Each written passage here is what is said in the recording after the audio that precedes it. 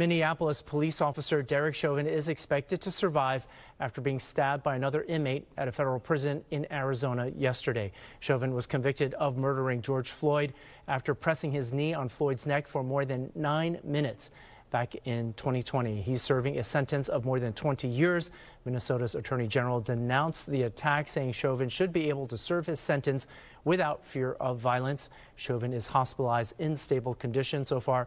No word on any charges connected to that stabbing.